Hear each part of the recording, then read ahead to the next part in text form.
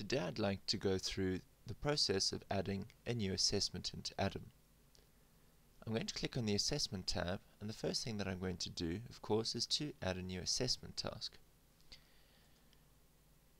I then am presented with a list of all of my classes. I'm going to add a task for my grade 12 class. I click on Next.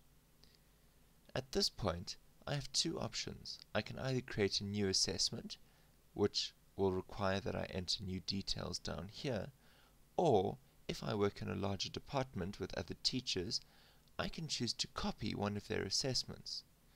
Now you'll notice that all of these teachers' names are mine, but if there were other teachers in my department, I would see all of their assessments and I could copy the settings that I needed to create a new assessment. But today, let's learn how to set up a new assessment. If we go down and have a look at the options that are required, the first thing we have to do is specify which reporting period this particular mark is going to count towards. In this particular instance, I have two reporting periods that it could be. That's simply because my system administrator would have set that up. However, it should default automatically to the current term for you. We then get to enter an assessment name. I'm going to call this assessment class test and in brackets I'll just put there theory. We then choose which assessment category we want this assessment task to belong to. Now on this particular server we've set up two categories, either classwork or examinations. Because this is a class test I'm going to choose classwork. Your system administrator might have set up other categories for you to choose from. Today's date is the 18th of July, which is why it's got that date already written in the box. However, if this assessment was written on a different date, it's suggested that you choose that date. So let's pretend that this particular assessment was written on the 15th of July, that was last Friday. The results release time allows me to place an embargo on the results. So I can say, for example, only release them on Wednesday morning at, uh, let's say, 11 o'clock, because I know that I've got a lesson on that morning and so I'll be able to go through the class test with the class before they see them online. Assessment total, this class test, let's say, is out of 50, and the adjusted total which we'll talk more about in a minute, I'm going to keep the same as my assessment total as 50 as well. Essentially, the adjusted total tells Adam how heavily to weight this particular assessment when it calculates a term mark. The last thing we have to do is to tell Adam how many questions we're going to use to break down our result. So for example, I'm going to break this into three questions, each of which is going to be associated with a particular learning outcome. You must have at least one question, obviously, but that could be simply a total. Adam can do a question by question breakdown, so for big assessments like examinations, it might make sense to break your assessment down into smaller questions than you normally might. Let's click on next, and Adam will show us the details at the top that we're going to confirm, and then below it asks us for the details involving the individual questions. Now Adams tried to be clever and work out that three questions divided, or 50 marks divided by three questions is about 17, but it's very seldom correct. So the first question might be out of 20, the second one might be out of 15, and the third one also might be out of 15. It is important that my total is out of 50, otherwise I won't be able to continue. So for example, if I change that back to 17, my total is 52, the next button down here is disabled and I can't progress. So let's change that to 15. On the right hand side, we can specify which learning outcomes we want associated with the particular marks. Adam uses these to automatically calculate your learning outcomes for your students at the end of each term, which is quite a handy thing to do. So question 1 we LO1, question 2, let's make LO2, and question 3 we'll make LO3. You can of course repeat them. I could have two LO3s if I wanted to, but for this example, let's stick with that. Click on the next button to continue, and Adam gives me one last chance to confirm that everything's correct. At this point, I can go back and change any single thing about this assessment. The minute I click on next, those details are going to be locked in. And there we have it. Click to enter the marks. And here we see the list of pupils in my class. I only have five of them. And then we get to enter their marks for each question. As I enter the marks, you'll notice that Adam starts adding up a total, calculating a percentage for that pupil, as well as an average for the class. So let's carry on and add up the marks. So the final result then for Anthony is 37 out of 50, which of course is 74%. I can leave a comment here.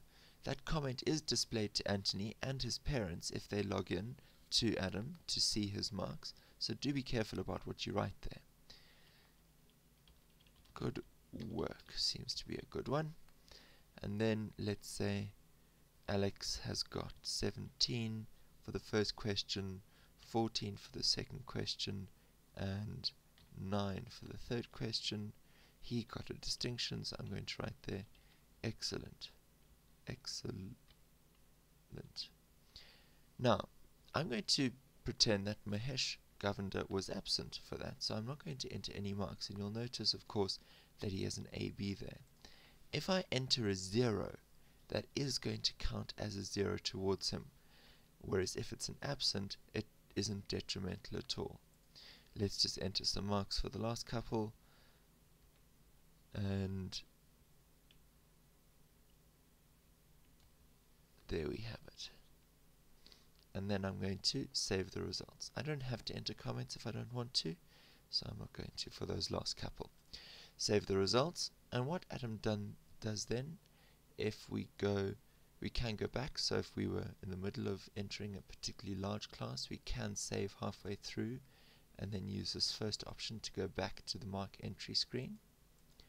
Or we can have a look at the analysis. I'm going to open this in a new window just so that we can come back to that. There it is and this is the analysis of the particular assessment. Now it doesn't really show up nicely for a class of only 4, but I have a symbol distribution there. Up at the top, gives me my quartile breakdowns, and then uh, the question by question breakdown, so it shows me the various statistics. It is a lot better and a lot more meaningful if you have more people in your class than I do. Then the last thing that I want to show you, also I'll open in a new window, is the assessment summary. And this shows me the mark book of uh, the term. So for example, there are all of my assessments and the class test that I just entered on the 15th of July is this second to last column here. You'll notice there is the absent mark and there are all of their results with an average and a standard deviation for the class. So if I was meeting with parents at a parents evening, this is an example of a report that I might print out for that meeting. Let's go back to more adjustments that we can make on our marks.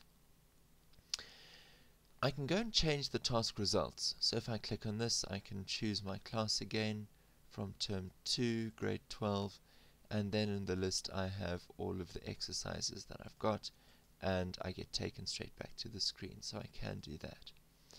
The one that I want to look at now, however, is how to calculate weightings and so on for your particular classes for a term. So we're going to choose that option and I'll go in and choose my grade 12 class again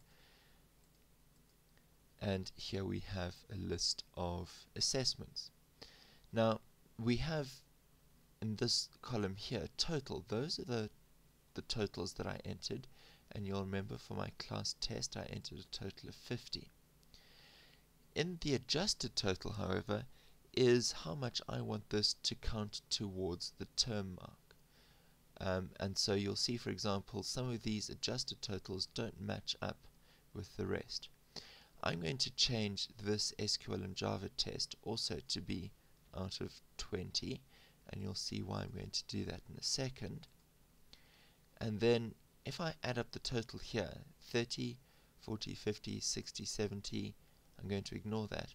With 80, So I want that to count 20% for the final mark. Now I am making it add up to 100, but I don't have to. Adam was perfectly happy to look at all of the marks that were there, and you'll see now that the percentages agree with the marks. Let's say this test was important and so I wanted to count slightly more, but I can't be bothered to work out the percentages. I can change that to, let's say, 40, which means that it'll count twice as much as that, but Adam has now realized that these marks don't add up to 100 and has now calculated percentages as if um, of, of the total.